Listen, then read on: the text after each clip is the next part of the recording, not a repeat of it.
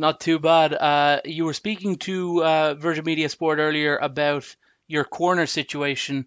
Uh, could could you enlighten us about what exactly is happening? Of course, these travel restrictions have uh, have stopped um, John Kavanagh coming over. Um, uh, could you could you tell us who's going to be in your corner on Friday night? Yeah, so travel restrictions, as you said, have, have kind of scuppered my corner plans a bit. John is not dead in the water yet, but it's unlikely, I would say, he's coming over. Um, mm-hmm. Assail Ajoud was supposed to come from Paris, and again, travel restrictions have, have stopped him. But I always have backup done it. So I've got James Gallagher flew in from California yesterday. Um, so yeah. he's here for me now. So James will be cornering me 100%.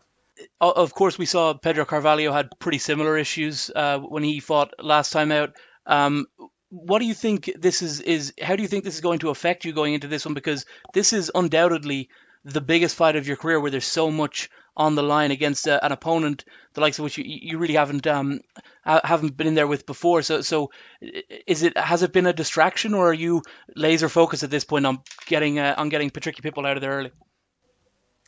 Yeah, it's not going to affect me.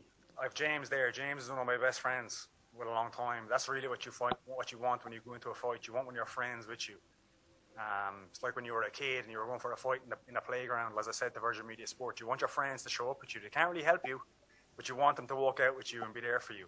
I'll have that, so I'm fine. I'll be fine in that fight. Um, it's not really going to affect me at all, Thank you very much, Peter, for that. One more from me, if if I could, uh, about um, this rivalry, Pitbulls versus SBG. You're finally getting to, to have this fight. There's obviously there's been the one before with, with like I said, Pedro against um against Patricio.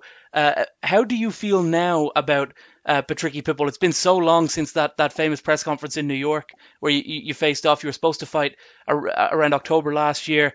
Uh, it, it's such a different circumstance now. There won't be any fans. It was supposed to be a packed arena. How do you feel now about uh, your opponent, Patricky Pitbull? Yeah, I don't know. It's it's like eh, like uh, like you said, it's been a long time. Um, I think when I see him now at the weigh-in, I might spark it all again, maybe. So we'll, we'll see how that goes. But like you you you you forget all that kind of thing that happened in New York. It's been so long. So, but really, what I'm focused on is is not even this rivalry thing anymore, and our personal differences or whatever is there with us. It's the implications of a win here is what I'm focused on. Um, that has taken, you know, taken taken over for me. Um, like if I beat him, I'm fighting his brother, and it'll be for the belt. That's that's just a fact. That's how it's going to go. So this is the biggest fight of my career. It has the biggest implications of any fight that I've ever had in my career. Um, so that's what I'm laser focused on.